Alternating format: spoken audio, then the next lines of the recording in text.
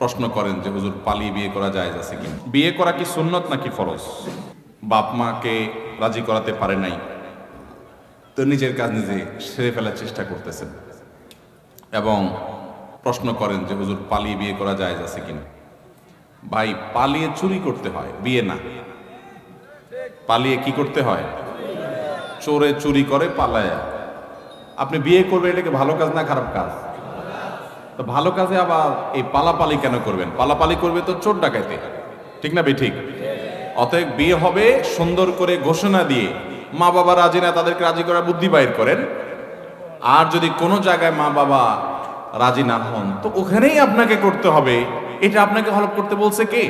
আপনি চেষ্টা করেন বাবা মাকে যথাসম্ভব রাজি করানো। আমরা অনেক ক্ষেত্রে এসব জায়গায় ভুল করে বসি। তরুণ ভাইরা, যুবক ভাইরা হ্যাঁ যদি এমন হয়, আপনার বয়স হয়ে গেছে, অনেক, তারপরও বাপমা বিয়ে করান না। অনেক বাপমা আছেন, তাদের হিসাব নিকাশগুলো বড় লেম।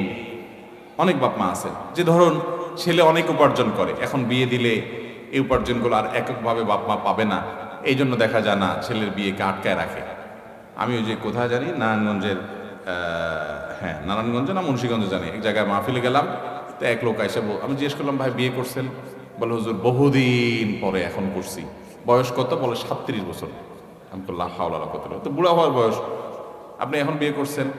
বলো, না, দুই তিন বছর হচ্ছে বিয়ে করছি, বাচ্চা কাচ্চা হচ্ছে না। কারণ ওই যে অনেক দেরিতে বিয়ে করলে বাচ্চা কাচ্চা অনেক সময় হয় না। যাই হোক, তো ওই ভদ্রলোক বললেন যে, হুজুর, আমাদের এলাকায় বাপ মারা ছেলে মেয়েদের বিয়ে দিতে চায় না। ছেলেদের বিশেষ করে বিয়ে করাতে চায় না। বিয়ে করালে যে ইনকামের টাকা কমে যাবে, এরকম অনেকে চিন্তা করেন। এরকম যদি করেন কোনো বাপ মা, অথবা অনেক মেয়ে চাকরি করে, উপার্জন করে, বাপ মা জানে বিয়ে দিলে টাকা চলে যাবে। এরকম যদি থাকে কোনো বাপ মা আছে, তারা যদি এরকম করে, তাহলে সেক্ষেত্রে আপনি অবশ্যই ওলামাদের সাথে পরামর্শ করে আপনার চরিত্র হেফাজতের জন্য বিয়ের উদ্যোগ নেবেন। এবং আপনার এই সমস্ত ক্ষেত্রে আপনি যদি চরিত্র হেফাজতের জন্য বাধ্য হন, তাহলে ভিন্ন কথা। আপনাকে অনেকে আছে যে বয়স বিশ বছর বলে, হুজুর, চরিত্র হেফাজতের জন্য বিয়ে করতে চাই। তোমার চরিত্র নষ্ট করতে ওই রোডে যাইতে বলছে কি তোমাদের তুমি যা একটা মেয়ের সাথে ইনবক্সে ইটিস পিটিস করবা ফেসবুকে এরপরে বলবা যে চরিত্র হেফাজতের জন্য হুজুর বিয়ে ছাড়া উপায় নেই। তোমার ওই জায়গায় যাইতে বলছে? তোমার এখান সরে আসো। এরপরে চেষ্টা কর।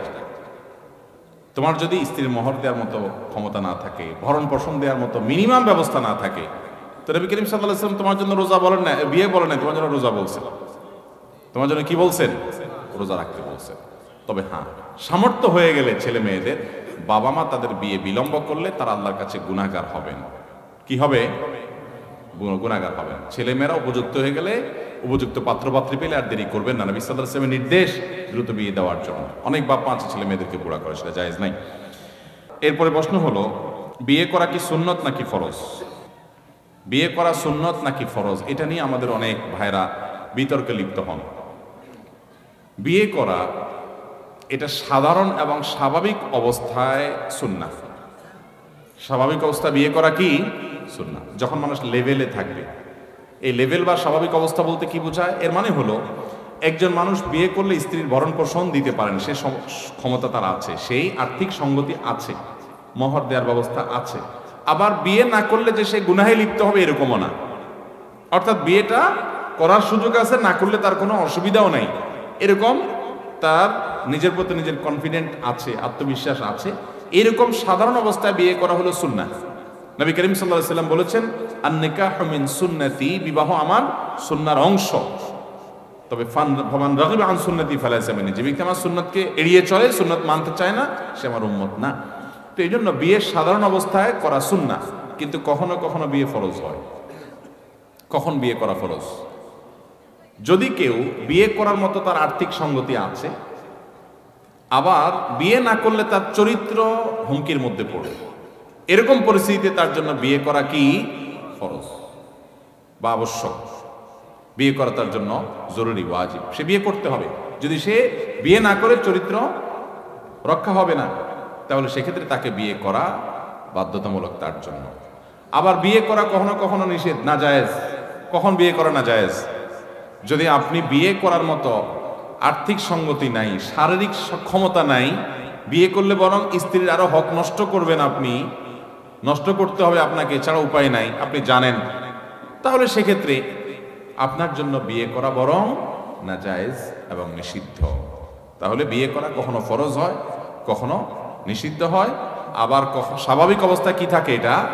সুন্না কিন্তু সুন্না মনে করে এটাকে ছোট মনে করবেন না। সমস্ত নবী রাসুলগল বিয়ে শাদী করেছেন। এক দুজন নবী বাদে। আর বাকি সমস্ত নবী রাসুলগল বিবাহ শাদী করেছেন। বিবাহ শাদী করতে গিয়ে এবার বন্ধু একটু কম হয় তারপরে বিয়ে শাদী করাটা উত্তম। আমাদের অনেক ভাইরা আছেন, অনেক বোনরা আছেন, বিয়ে শাদী করতে চান না। অনেক শিক্ষিতদের মধ্যে আছে এই প্রবণতা। যে বিয়ে শাদী করলে ঝামেলা, এবাদবন্দি করা হয় না, ম্যাচ করে না, গন্ডগোল, ফাসাদ হয়, ঝামেলা থেকে দূরে থাকেন। না, এই ঝামেলা পোহাইলে আপনি সব পাবেন। কিছু কিছু ঝামেলা আপনাকে সহ্য করতে হবে। এবাদতের অংশ এটা। নবী করিম সাল্লাহ সাল্লামের দাম্পত্য জীবনে মহাতুল মেইনদের সাথে কখনো কখনো অভিমান হয়েছে। এবং নবী করিম সাল্লাহ সাল্লামের সেই ইমান ভাঙার জন্য মরাদুল্লাহ উদ্যোক্তা, উদ্যোগ নিয়েছেন। এগুলো জীবনের অংশ। হ্যাঁ অভিমান এক জিনিস আর ঝগড়াঝাটি আর ছোটলুই করা আরেক জিনিস। সেটা নবী সাল্লাহ সাল্লামের যুগে খোলাফার আসাদের জিন্দগিতে সেটা হয় নাই। আমাদেরকে সেই জায়গায় যেতে হবে। অতএব বিয়ে শাদী করাটা হলো সুন্না এবং উত্তম যে আমাদের বিবাহ শাদী করতে গিয়ে যদি একটু ঝামেলা পোহাতে হয় এবার একটু কম হয় তারপরে সব বেশি হবে ইনশা আল্লাহ